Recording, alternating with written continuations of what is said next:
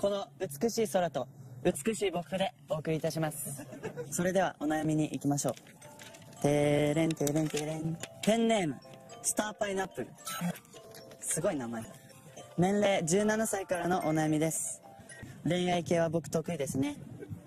やっぱお母さん行動をする人なんだよお母さん行動っていうのはやっぱりなんかをしてあげちゃったり。